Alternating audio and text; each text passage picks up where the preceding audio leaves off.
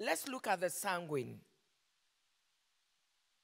The sanguine temperament is traditionally associated with air and the season of spring. And um, Pastor Chief I know you don't know spring. Spring is the is the season between winter and summer. In Ghana, we only have rainy season and dry season. Where I am, we have four seasons. People with this temperament tend to be lively, sociable, carefree. They don't care about anything. They are talkatives. They are pleasure seeking and fun loving people. They may be warm hearted and optimistic. They can make new friends easily, be imaginative and artistic, and often have many ideas. They let go of things easily and like change and diversity. The sanguine person can be very caring but they may struggle with following tasks all the way through, and they are chronically late and forgetful. I will come to their negatives and um, the, their disadvantages and their advantages, or their strengths and their negatives. They're choleric. The choleric temperament is traditionally associated with fire and the season of summer. Fire, they can be hot, hot tempered, quick tempered. People with this temperament tend to be egocentric. They have a lot of ego and extroverts.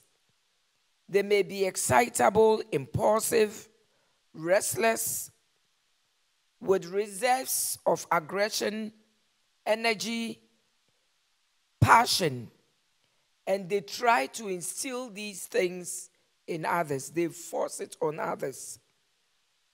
They tend to be task and action oriented people and are focused on getting a job done efficiently. Their motto is let's do it now. If there's anything to be done, do it now. They can be ambitious, strong willed, and like to be in charge. They can show leadership, are good at planning, and are often practical and solution oriented.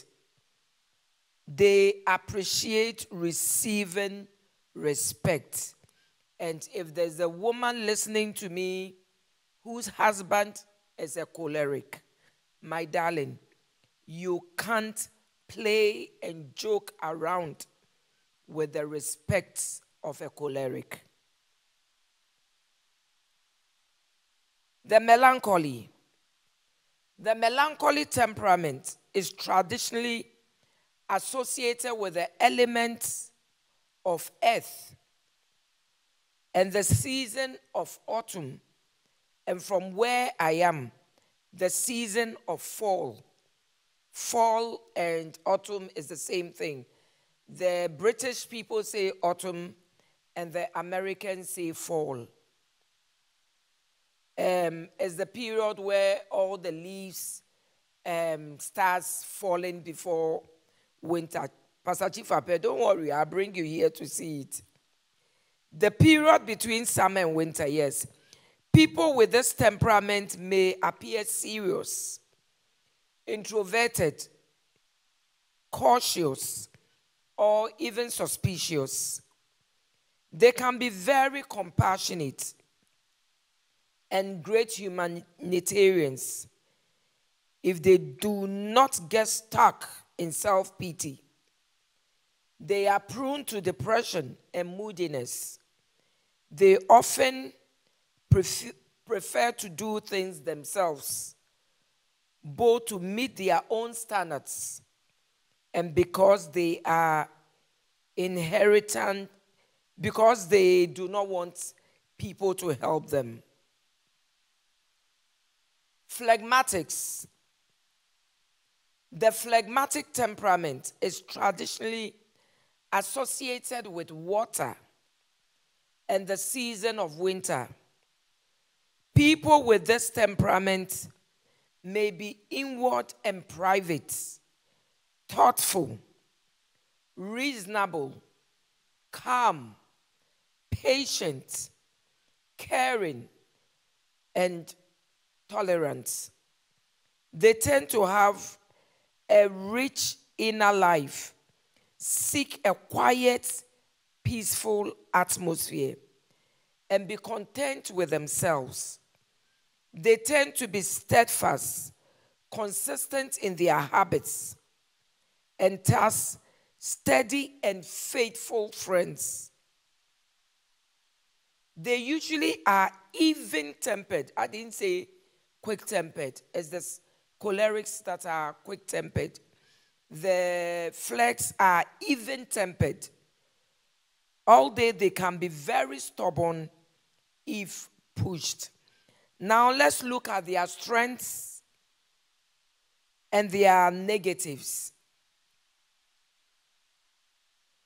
The weaknesses of the sanguine. They are indisciplined with money. They love to shop and can overspend. When you are married to a sanguine, if you are not careful, there will be no money to even pay school fees. And I pray that two sanguines don't get married. They are untidy. They throw things about and are disorganized. They can enter and leave relationships easily and not feel anything. They are forgetful and they talk too much. They are strengths, they are good with networking. They love to have fun and be the, the, the center of any party. And because they love to network, they can be very good pastors' wives. As a woman, they, uh, the women love to dress and have new hairstyles. The sanguines are very good with colors. They are friendly and warm. They are always happy.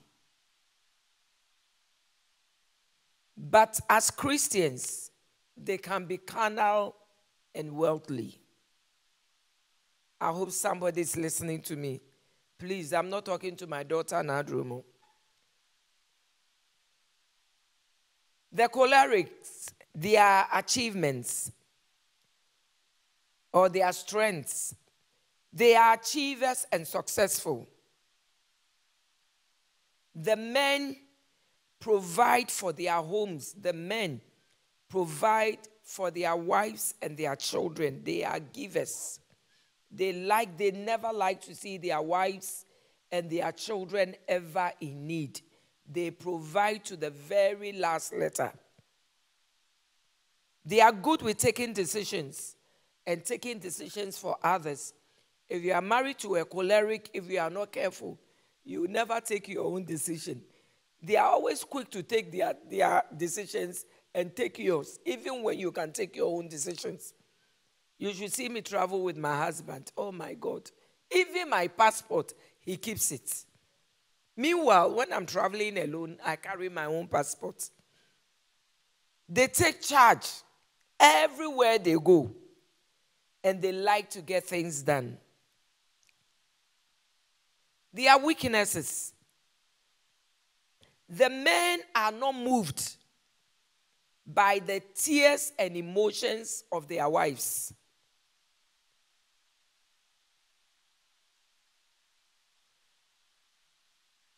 If he's a man, his wife and children are usually afraid of them. They are the kind of fathers when they go out and they are coming back, their children are running to pretend they are sleeping. They are quick tempered and unforgiving. The mothers, in other words, the women who are cholerics, the mothers, are very unpopular with the children because they are disciplinarians. The women are bossy, very bossy everywhere they go. At home, they are bossy. At work, they are bossy. To the melancholy, they are weaknesses. They are sensitive and emotional. They find it difficult to forgive. They keep everything, whatever you did to them. Since the formation of America, or since the birth of Kwame Nkrumah, they will keep it and they can always refer to it. They keep a lot within them because they hardly forget. They lack confidence.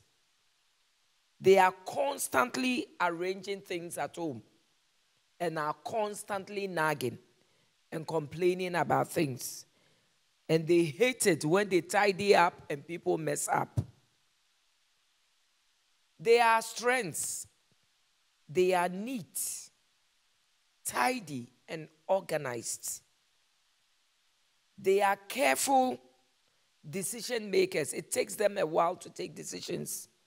So when they make the, they take their decisions, trust me, they hardly go wrong. They are meticulous. They are good listeners. They are not too generous. Now, the phlegmatic.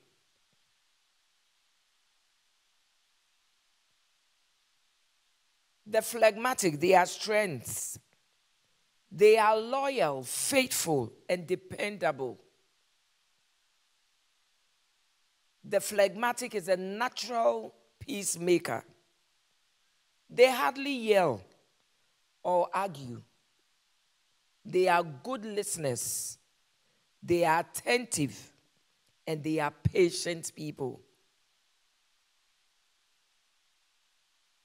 Their weaknesses. They are not easy to motivate. They lack ambition. They procrastinate. They like tomorrow. I'll do it tomorrow. Oh, let's do it tomorrow. By the time you realize five years have come, they are courting with you. Next year, or they are in a relationship with you. Next year, I'll do official uh, proposal. Second year, official proposal. Third year, if you are not careful, you'll be 10, 11 years with them. Or they hang around you for a long time before they propose. If you're around a phlegmatic, make sure he's really interested in you. Otherwise, by the time you are realized, 15 years have gone and they haven't said anything. They leave decision making to their spouse, that is their husbands. They are slow and lazy and very laid back. They never communicate the truth about their feelings. They are disorganized at home. They are normally unconcerned about their dressing, especially the women. And they hardly discipline the children.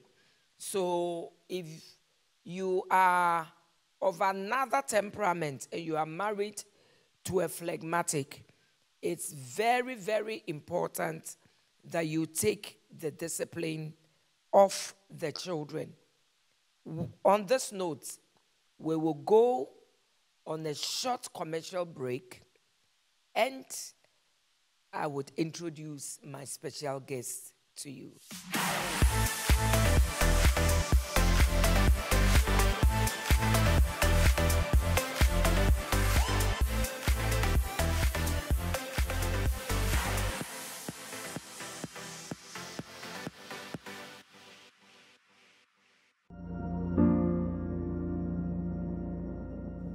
Community I grew up in impacted stubborn fearlessness in me.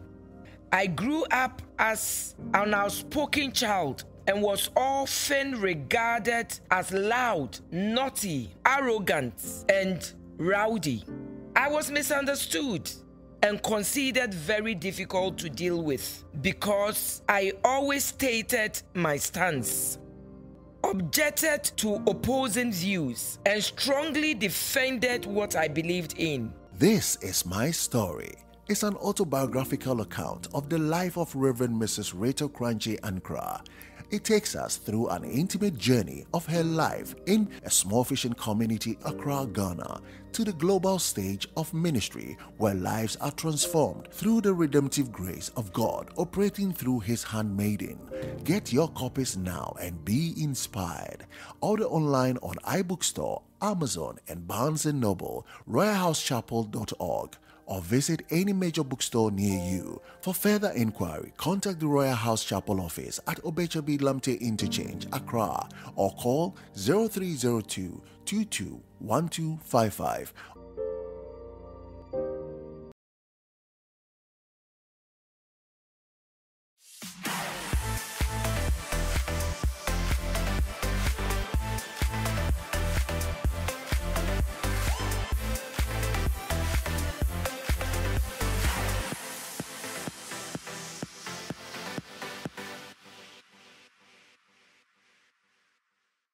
With me today is Reverend and Pastor Mrs.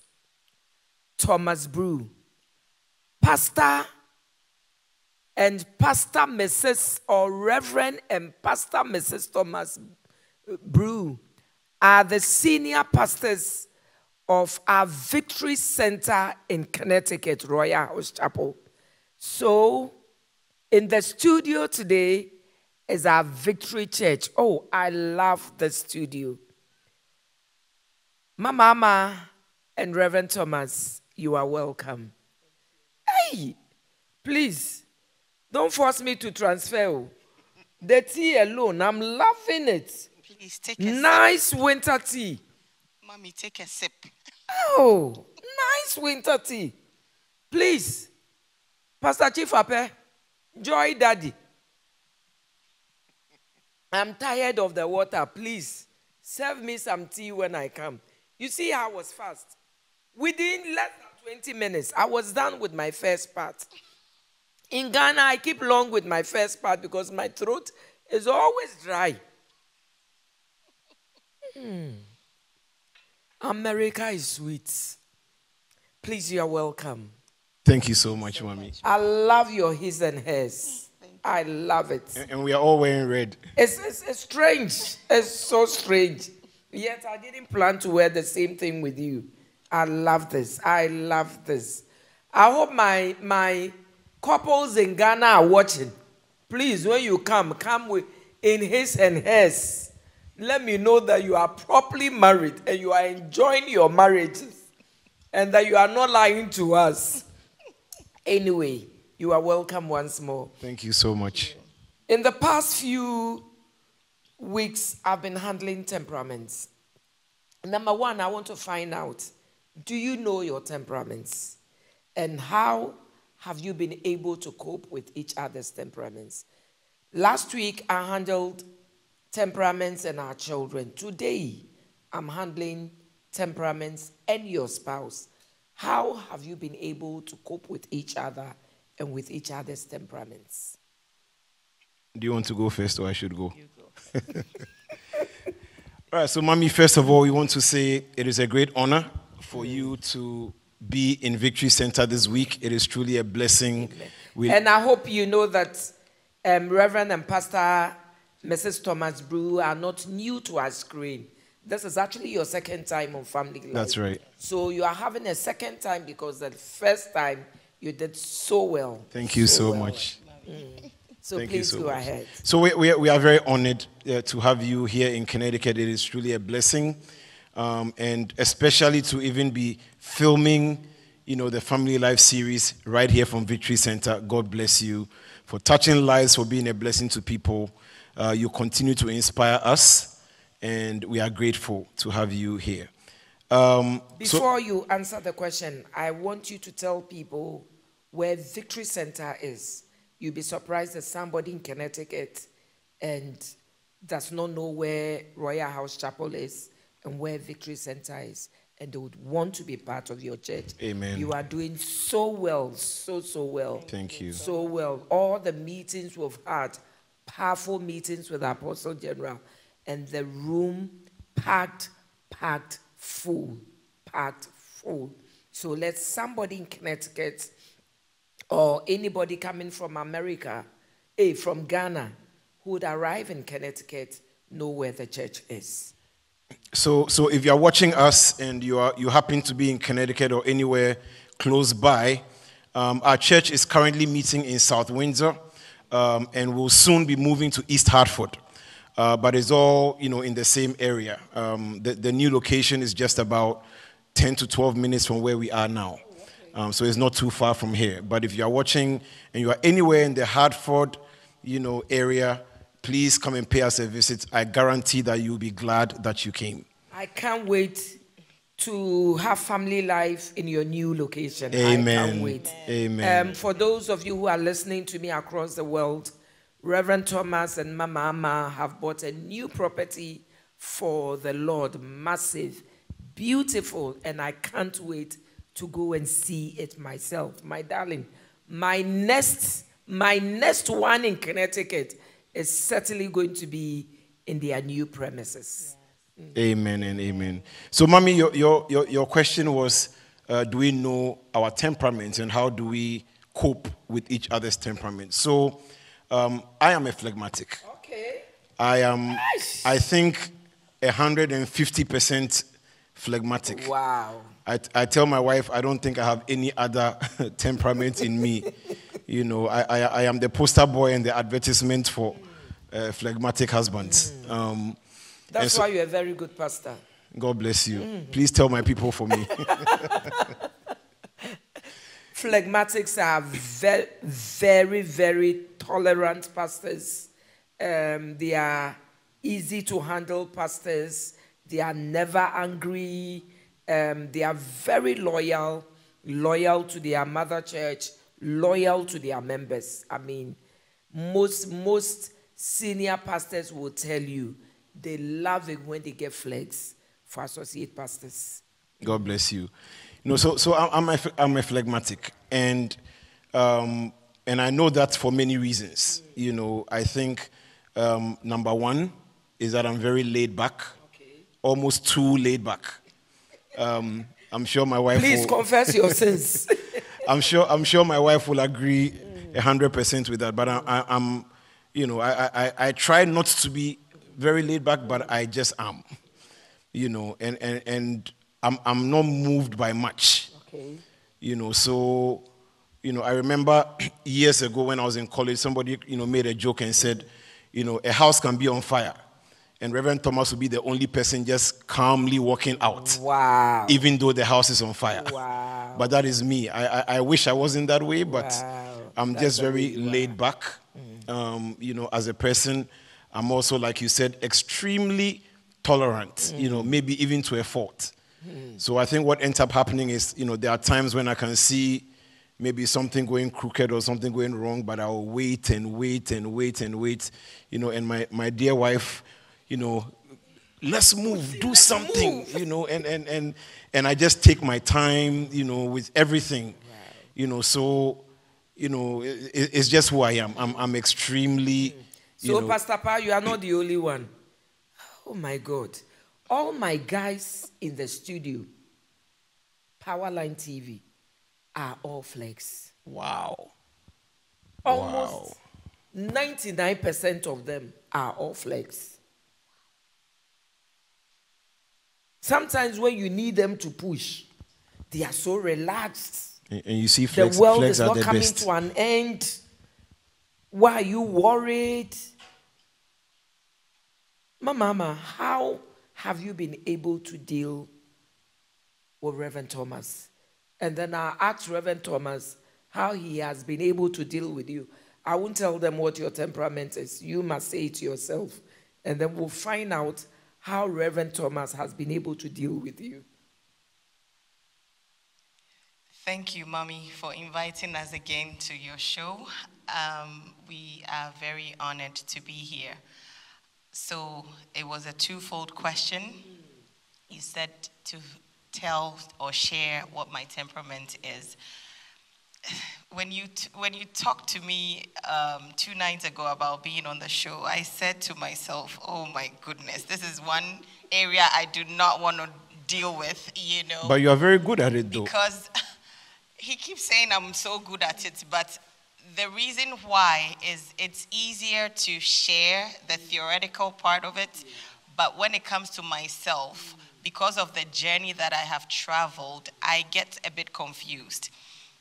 Why am I saying that? Bec- before I got married, I thought I was a melancholy because I'm a I'm a last born in my family, and I got to enjoy that last born position and feel felt very free to be organized in my own way and to get things in order in my own way. I didn't have so much um, to worry about in terms of taking the leadership role because I have an older sister and I have older siblings who are always like, they are very strong cholerics who would always make decisions. And I just enjoyed life like that until I went to school. And I believe that in Ghana or in, the, in society, when you are melancholy, sometimes um, people mistake you to be a choleric because you are very organized. You like for things to get done in an, in an organized fashion. You get things done. You get things done in a meticulous way. You are dependable and and, and people like that when they are organizing projects or they, they want to start up uh, an organization or anything like that. So they will naturally think you're a leader. So I, and I was appointed the class prefect, the school prefect. The And I'm sure you are intelligent. In Ghana, once you are extremely. intelligent, once you are intelligent, you are always prefects. Every class you are. Were you school prefects? yeah, Wow. yes. I was a school prefect in, in my primary school. And when I got to, I went to St. Rose's Okay. Secondary School, I was the compound prefect. Wow. St. Rose's, as you all know, we are 25 years celebrating 25 Wow. years. A shout out to all my Rose seconds. 25 Um, years. 25 Just years 25 years. since I left school. oh, since you left school. Yes, since I left school. Um, but when I was there, the reason why I'm talking about St. Rose is at the time we were awarded the neatest school in Ghana. It came on the newspapers a few times. And I was the school prefect, I mean, the compound prefect. So you can imagine the neatest girl. I was the office girl. I mean, think I was, now that I look back, I'm thinking what made them choose or select me. I mm-hmm. guess those are the traits they were seeing in me. Mm-hmm. So it's the melancholic trait that mm-hmm. made them choose me in those for those positions. So then the walk now to being married to a, a phlegmatic. Decisions had to be made. Then my notion of um, being married was okay, my husband will take the lead, make the decisions, da- da- all that. That wasn't happening. So in the beginning, it was a struggle. So even we thought I was a choleric. Okay.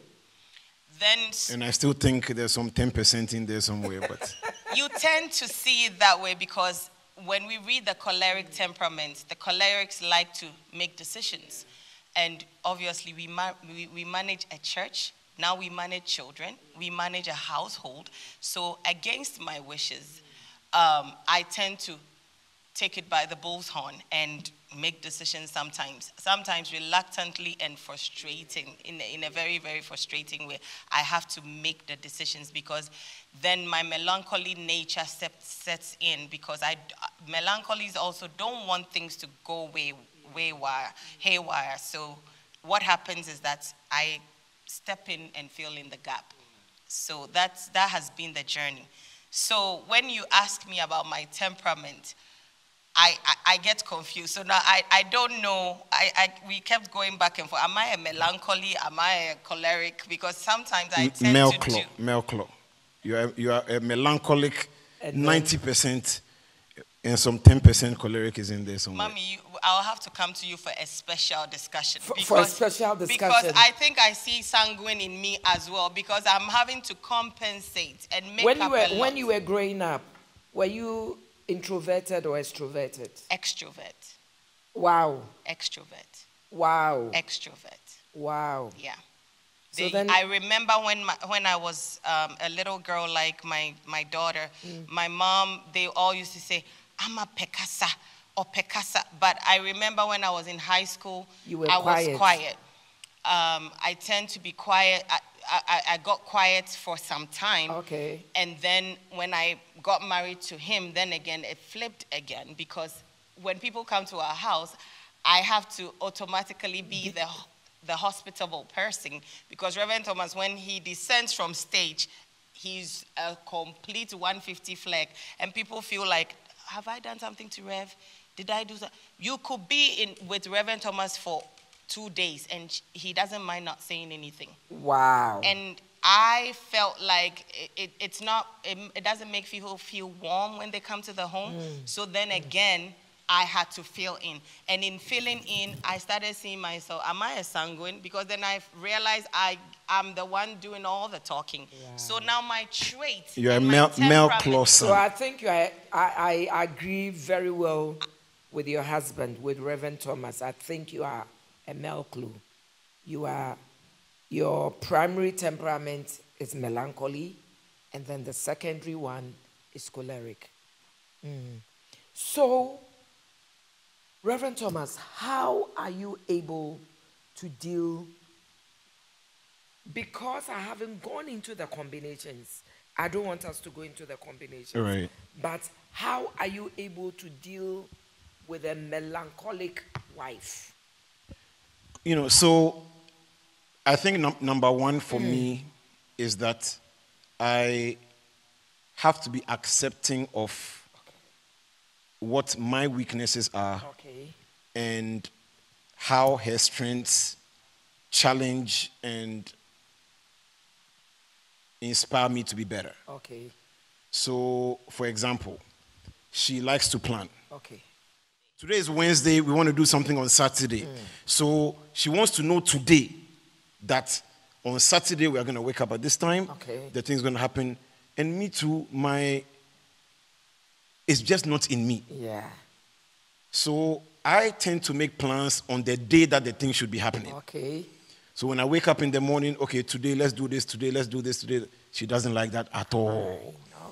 Because from her standpoint, before you go to bed the night before, You should have planned. you should know what is happening the next day. And so, one of the areas where I'm trying to be better as a husband is by becoming a better planner. Wow. So, you know, in terms of how I cope with her temperament, is that I am accepting of the areas where I have to do better. Okay. Another example would be um, in finances Okay.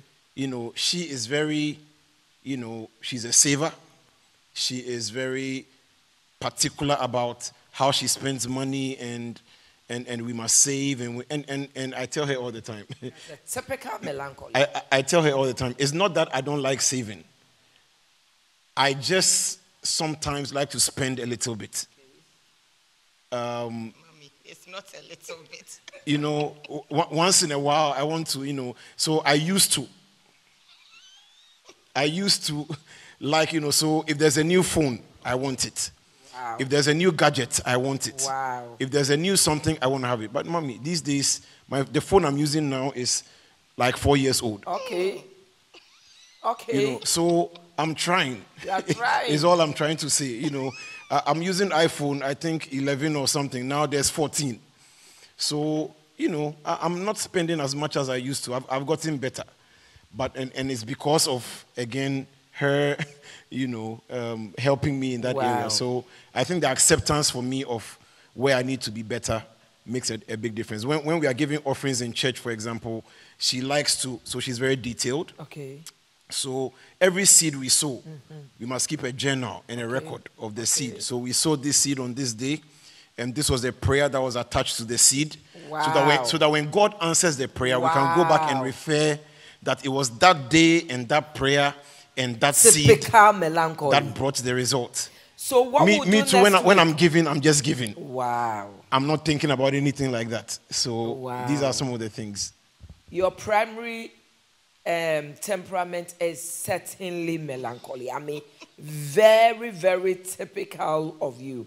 Next week, we'll be handling how you deal with each other's temperament. We will go into that next week. But before next week, we will go straight away into Ask Mama Rita. Mama, Mama, I would ask you how you deal with, with Oh, Lord. I know. That's the whole book. I know. Somebody says, Good day, mommy. God richly bless you for the teaching of temperament. For the first time, I see my second child getting excited with homeworks because I now have patience for her. Oh my God. God bless you for being patient with your child. Then another person says, Good evening, Mama Rita. Please, I'm a melancholy. But unfortunately, I grew up in an unorganized environment. And I believe that I believe that has really affected a lot about me and how organized I desire to be. Please, how can I resolve this and improve? Did you get the question? Yes. I don't know whether it's a he or she, claims she's a melancholy.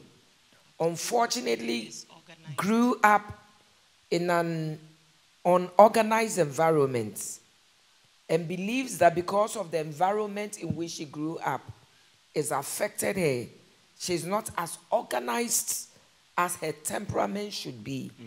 And now she wants to find out how she can, you know, resolve and improve on her, you know, Environment. environments and being organized. Is this person single still? Um, didn't say it. the question Didn't- doesn't say. The person doesn't say it. I I think it's a bit broad because we don't know where this which stage the mm. person is in mm. now. Because if you are single, mm. it's a bit easier to to um, go back and redo or unlearn certain things.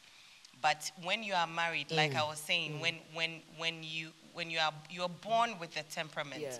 your family that you're raised mm. in shapes that temperament in a way. And then life, what, what your journey in life also shapes that temperament because at this point, you would agree that I'm a melancholy. If you come to my house, it is so messed up. You will never think I'm a melancholy, but every day I am stressed because my house is messed up. Because life has brought me this far, and ha- that life's challenges has made things like that, you know, um, A bit more chaotic. a, a bit more challenging maintaining the house and things like children, managing a ministry, and then somebody even coming to church on time Yeah. is one of my pet peeves. Nobody would believe that it's a it's a biggest pet peeve of mine. But you can't control. There are so many things you you you run into that you can't control. One, I would say, if you're single, just unlearn some of the things. It will take time. And let's say if you don't go to get to places on time, start getting organized. Start planning. You can manage those things better when you are single. When you are with a spouse, if right now you are married to the person asking the question, if you are married, then you have to. It, it gets a bit complicated. It's easier said Especially than if you are married to a phleg. Yes. I, I don't know why phlegs keep getting such a bad name. We are, we are supposedly the best husbands there No, are. no, no, you are the best. You You are are the best. You are the best. You are the best. Um, so, but then it takes a lot of discussions. So, if you are married to a phleg, like you were saying, not just a phleg, I'm sure there are other temperaments too that make being a melancholy um, a bit difficult. I realize that I'm melancholy married to a sanguine. very Sanguines are difficult, disorganized. very disorganized. I was going to say melancholies work very well with cholerics, and so um, you can have a, a discussion about it. Knowledge brings power. You are, you are empowered through the discussions and the knowledge, and I'm I'm sure if they follow your family life mm. series, they will add knowledge onto it. And not only learn but apply what they are learning. And I would say, I'm jumping ahead of myself, but prayer. Sometimes you are at your wits end and you the equation is just not balancing out. You just have to add prayer because god helps us through all the difficulties that we cannot maneuver through. And so prayer makes a difference Reverend Thomas, would you want to add to it? Yeah, so I think what, what I would add to that is it- it really depends on the extent to which that person, you know, if, if it's a house, maybe if it's a young person and, you know, they are living with their parents and mm. things like that, they may not have as much influence over changing that environment as if they were living by themselves or if they were in a different setting. So I think the answer also depends on how much does that person have the ability to even affect their environment. And then, even if you cannot change the broader environment, probably there are things that you can do to change maybe the room you sleep in or, or the way you plan your day. You know, so you can start somewhere in terms of getting better organized. Hello, mommy. Good evening. I got into a relationship with a lady, and it's been four years now. She already has a child. I'm in Kumasi working while she's training on a job at the moment in a different city and will sometimes visit me. Whenever she visits and I check her messages on her blind side, I always discover she's flirting with different men. This has gone on for more than three times, and she will deny or sometimes bluntly tell me whoever spends on her training is the one she will marry. Wow. And that's how she even gets her rent. I am confused. What do I do? Hmm. Well, Mommy, I, I think the answer is obvious. I think the answer is obvious. One, one thing, I don't know if I said this the last time that we uh, were on your show, hmm. but I always try to advise people as though they were my sibling hmm. or as though they were my very close friend, so that it, it helps me give the most sincere Yeah. Advice to people. You know, so if this were my sister or a close friend, or my brother or a close friend, Or even your son or a daughter. or even a son or a daughter, my answer would simply be, "This is not worth it." I think that she, he needs to, he needs to leave. Mama, Mama, do you want to add to it? I, I believe we are addressing temperament, and sometimes people confuse temperament with character. Temperaments are very difficult to um, change or control or manage, but character, we all can change our character, and this seems to be a character problem. You can give a lot more grace to temperament, but character is um, something that I believe that we all can do better, even with temperament as a Christian. At some point, people must not be able to tell who you really are as a, as a, as a Christian. Because you've worked on your You've weaknesses. worked on your weakness. So, my darling, um, this is a red flag. For a lady to tell you that the one who spends on her is the one she will marry, and men are even paying her rent, is, is enough ground. I think that you need to have a meaningful discussion with her because with what you are saying, you are saying that you've been in the relationship for four years. A four-year-old relationship means that it's a se- it's a serious relationship. It's moved from um, the friendship stage to the courtship stage. So if you are in the courtship stage and she's telling you that um, I move with the ones who give me money, I move with the ones who pay my fees, I move with the ones who pay my rent, then indirectly she's telling you that you are not fit for her. It means that even in marriage, when you can't provide for her, she will move out of the marriage. You need to take a quick decision. This is a red flag. And, and mommy, there's a word for that. Yeah. It's called a gold digger. A gold, A gold digger. digger. Yep. So you are actually going out with a gold digger. Yep. Would only go with you when you have gold and would dig and dig like it's happening in Ghana now. Galamsey everywhere.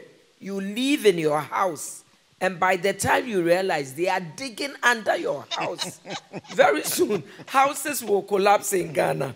So please advise yourself.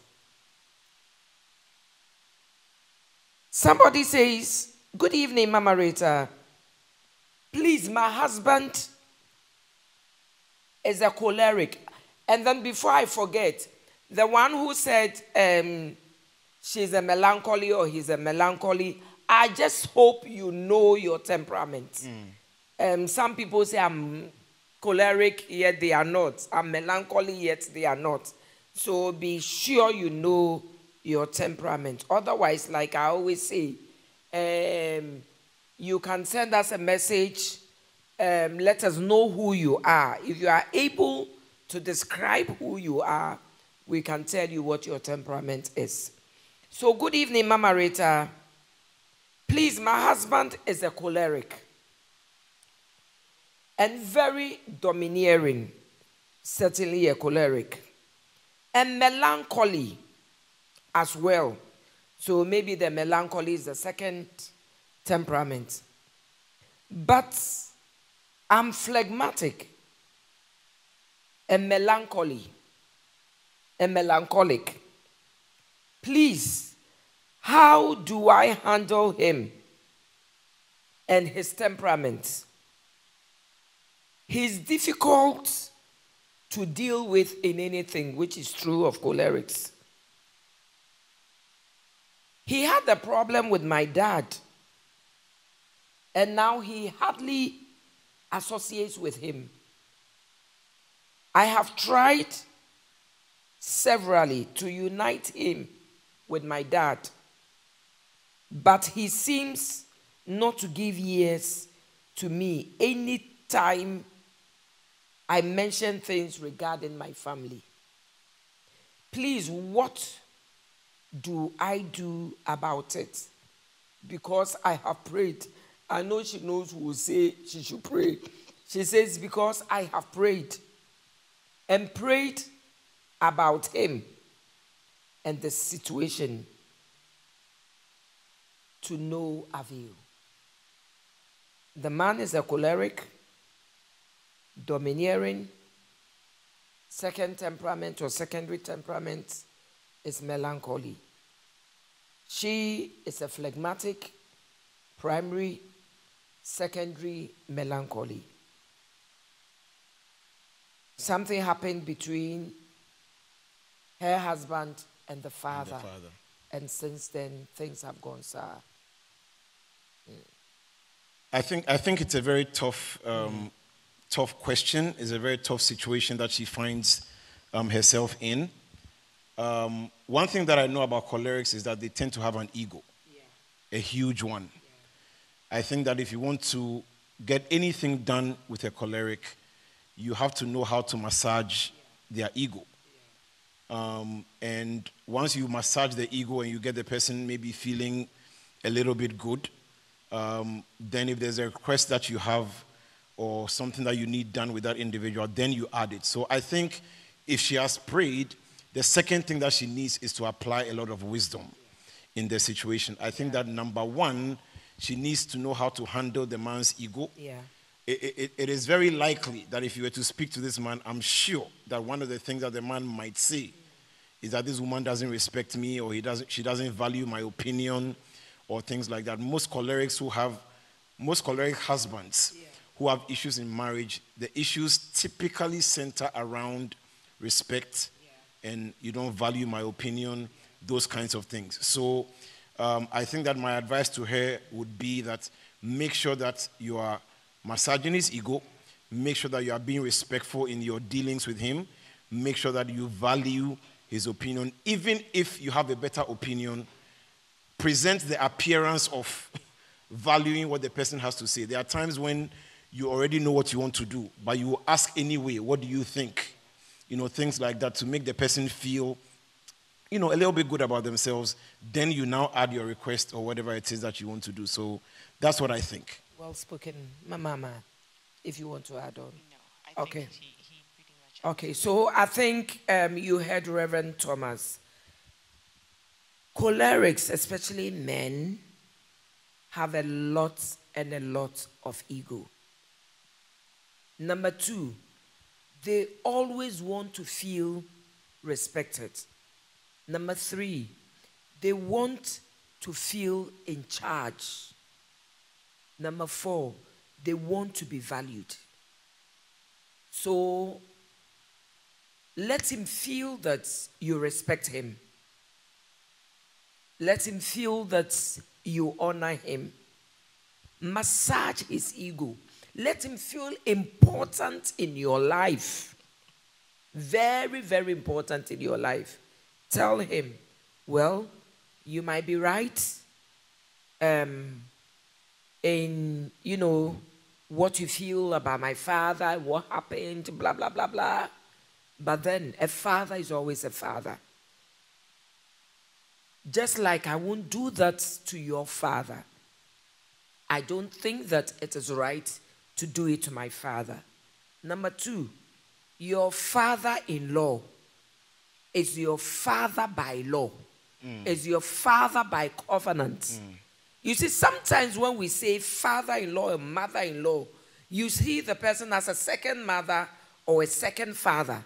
But the truth is, the person becomes your father by law, by covenant.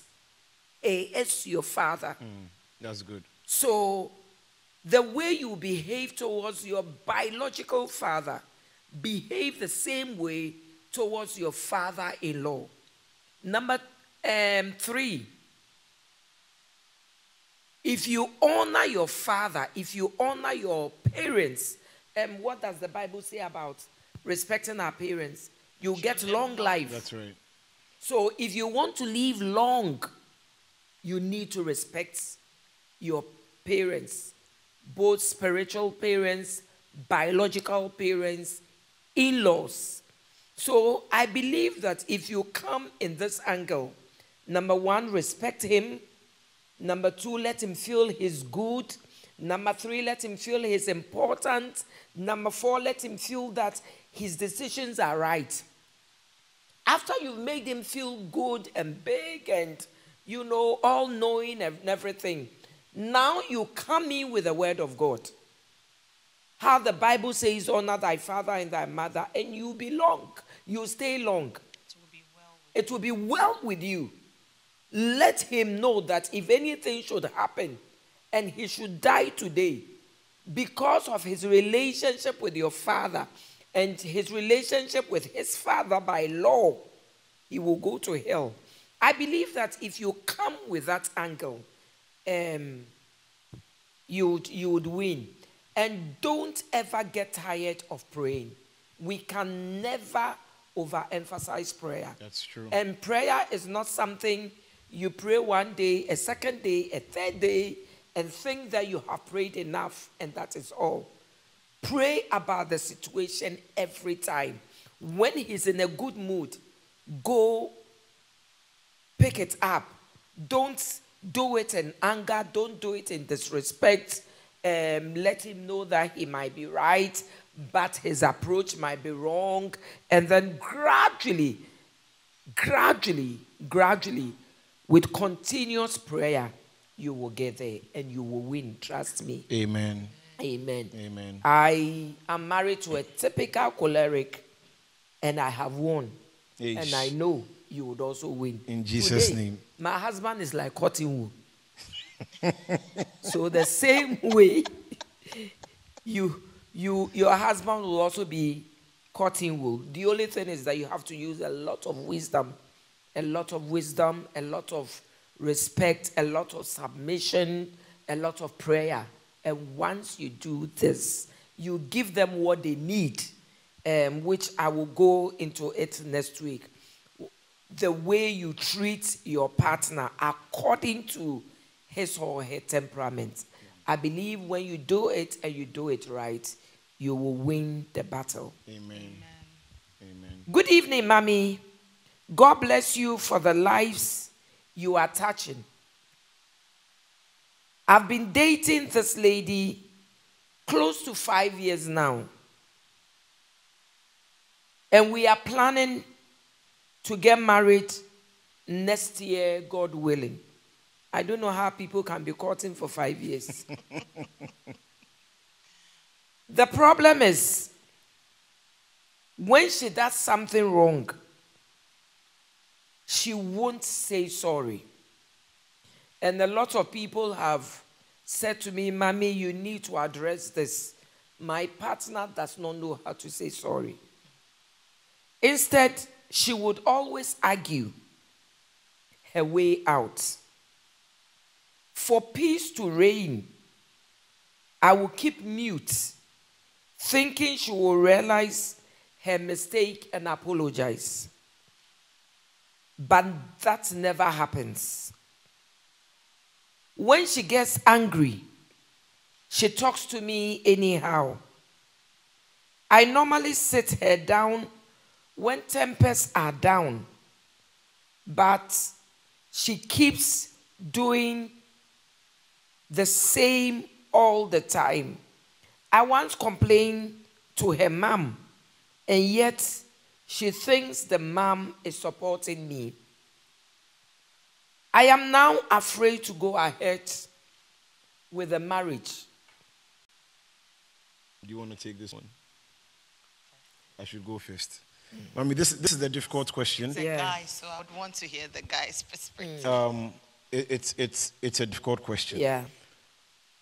I think that, you know, a, a, a lot of it has to do with at, at some point,